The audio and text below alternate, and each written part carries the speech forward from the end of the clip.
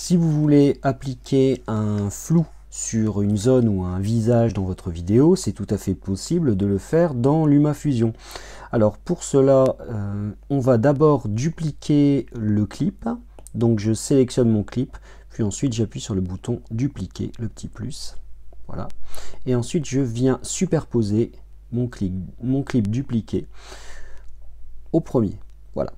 Donc ensuite, ce que je vais faire, c'est que je sélectionne bien mon clip du dessus, puis je vais passer en mode édition avec le petit crayon.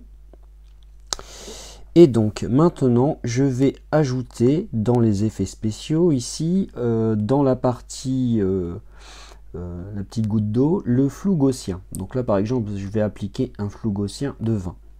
Donc là, le flou va s'appliquer à l'ensemble de mon clip. Donc pour réduire la zone, je vais maintenant retourner dans cadre et ajustement. Voilà. Et ensuite, je vais sélectionner dans coupe et bord. Voilà, je l'ai sélectionné et maintenant je vais réduire le cadre de mon clip que j'ai superposé. Voilà. Par exemple. Et si je veux avoir une forme ovale, je vais tout simplement appliquer un rayon de coin.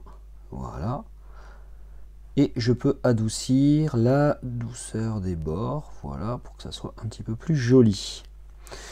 Donc voilà, le problème c'est que dans mon clip, euh, le visage bouge. Alors il n'y a pas de fonction de tracking automatique, il va falloir le faire à la main. Donc je reviens au début de mon clip, je vais simplement ajouter euh, une image euh, clé en appuyant sur le petit plus, voilà.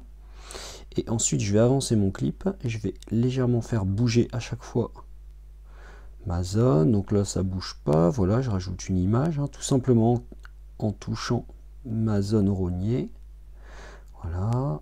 Ah, ça y est, ça bouge. Donc là, je vais également euh, réduire ma zone. Ouais, comme ça, ça va. Hop, là, je vais la réduire et la bouger. Par exemple.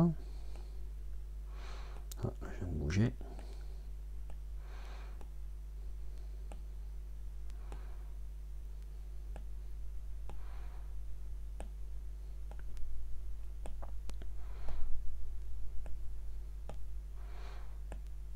Voilà, ça me semble correct.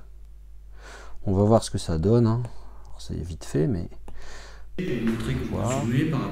Bon, là, ça va à peu près. Bon, voilà, c'est pas grave, je raconte n'importe quoi, c'est juste un test. Voilà, je peux le déplacer, donc du coup, au voilà. niveau de l'incrustation.